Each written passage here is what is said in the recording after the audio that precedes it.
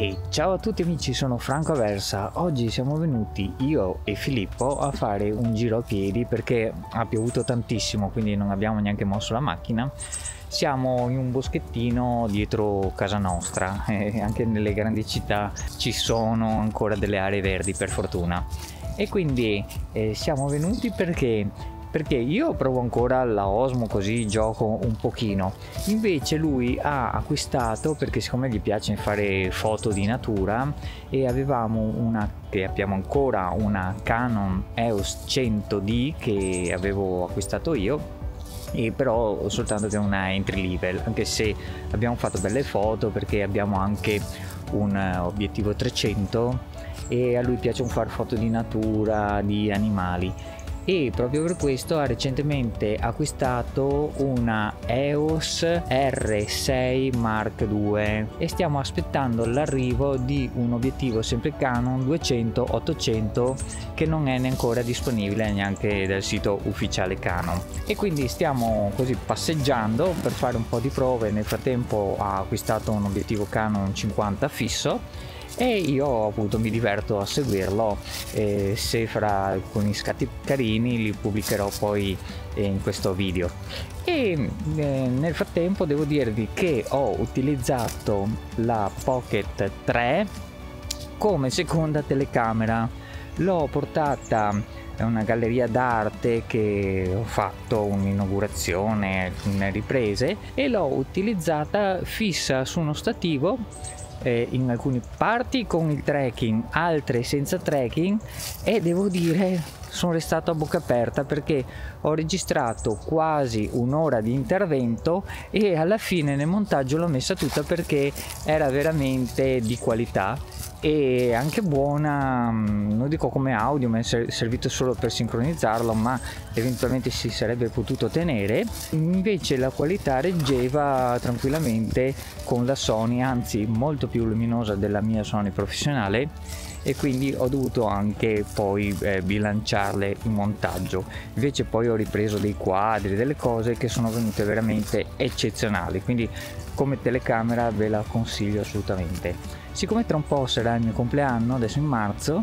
eh, mi sto facendo regalare anche i filtri che dovrebbero arrivarmi a giorno ND perché effettivamente la camera ha un diaframma fisso a 2 ecco cosa servono i filtri perché lei gioca eh, con gli ISO e gli altri valori con lo shutter e va a accelerare per ridurre la quantità di luce che entra.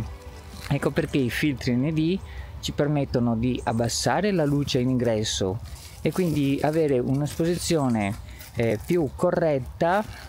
giocando con uno shutter più lento e quindi non avere quei movimenti troppo ehm,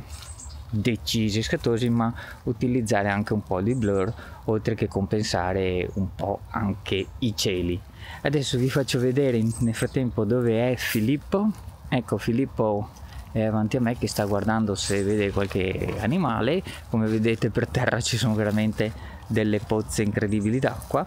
E così andiamo avanti in questa passeggiatina che sarà di un'oretta, insomma, ecco